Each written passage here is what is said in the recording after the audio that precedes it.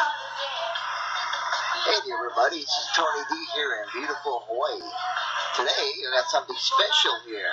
I'm taking a little video here of me making homemade lau lau. Right now, right over here, we got the taro leaves, which I've already washed.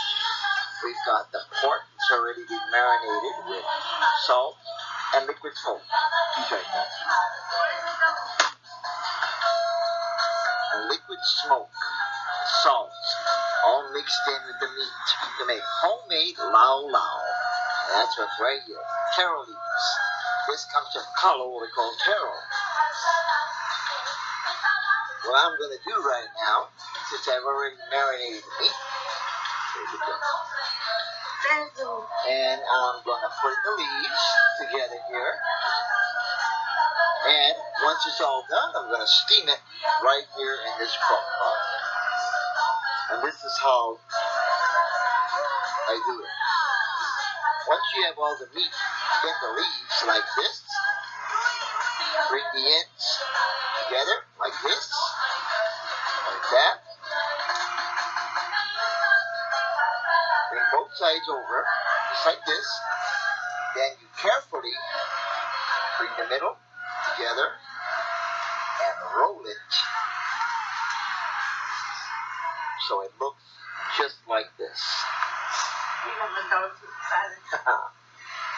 then the next thing I gotta do is once I roll this into a log, I'm gonna carefully tie it with string to hold it into place.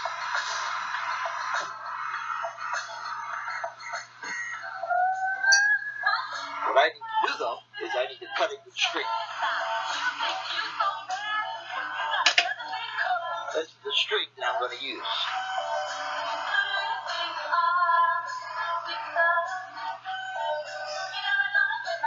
Once I tie it to with string, it holds the log into place. Just like this. Next thing I'm going to do, once I put it like this, I'm going to put it into the crock pot and I'm going to steam it for a few hours till it's nice and soft like spinach. Let me turn this right here so you can see.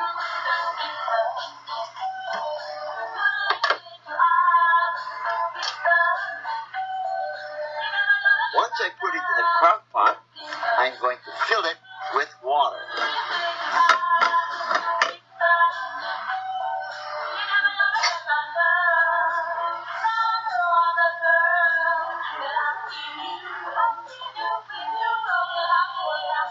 now I'm going to put the water in the crock pot.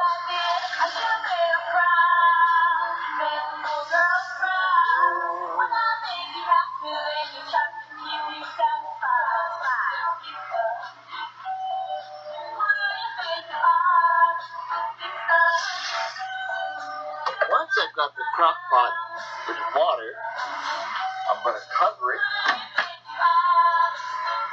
and I'm going to turn it on to steam it for a few hours.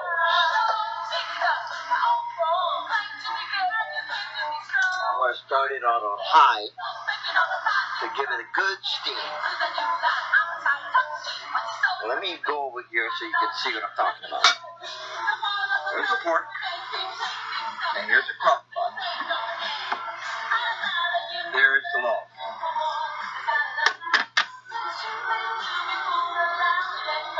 And this is the pork that I use.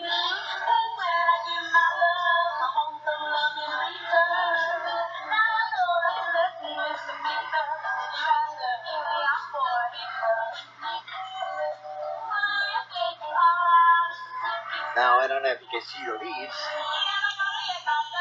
This is the leaf. We call it taro. It's a taro leaf, we call, uh, it looks like an elephant here. And it's very high in nutrition.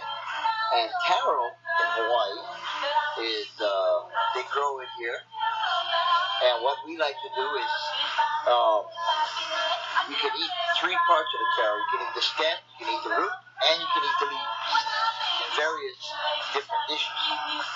Now, when I do this, I salt the meat, I put liquid smoke and a little soy sauce flavor before I steam it. Now, Some people like to cut this part. What it is, is you take a knife, very carefully take a knife and cut the veins out. The reason why some people cut the veins out is because with taro, the chemical in here sometimes make your throat itchy. So sometimes we like to cut in here. How we do this is very carefully.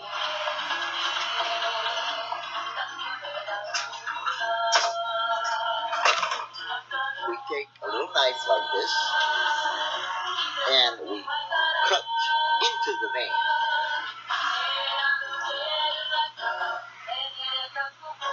Just like this.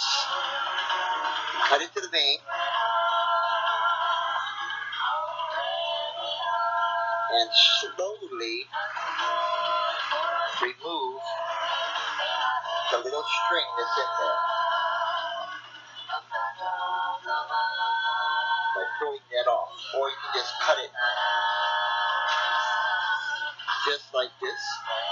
Just to remove that little string, as they call it.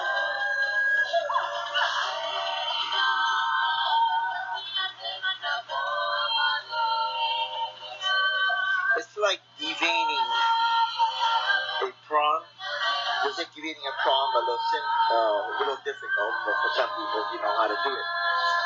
What you do is use a sharp knife.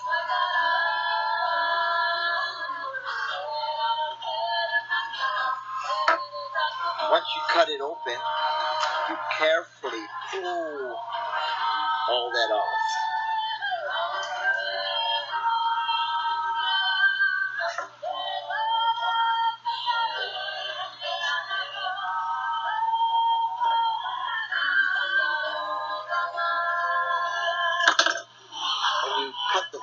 This is what it looks like in there.